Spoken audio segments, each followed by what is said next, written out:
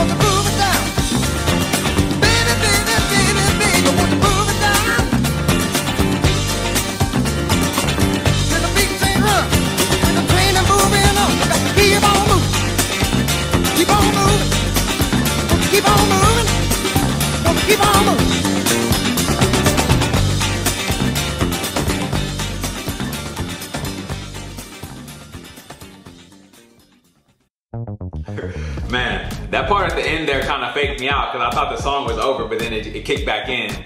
Uh, man, this was a great song. This song is just, it just feels fully encompassing. It feels like it has, it feels very fulfilling. Like it doesn't leave you lacking in any area. It has, it had the bongos in there, the harmonica. I don't know if it was bongos, but don't quote me on that. The guitar, the, this guy's voice, man, he has a killer voice very unique and it sounds awesome. This song is like the complete package. Like it really makes you want to dance. Also, he was saying like, where would you be without love? The answer's nowhere. the guitar on this song kind of reminds me of uh, Party in the USA by Miley Cyrus. If you guys know that song, you know what I'm talking about. But yeah, this was an awesome song, man. I'm excited to hear more from the Doobie Brothers. If you guys have any recommendations, leave them down in the comments below. If you guys are new to the channel, don't forget to like, comment, subscribe if you enjoy the content, and I will catch you guys on the flip.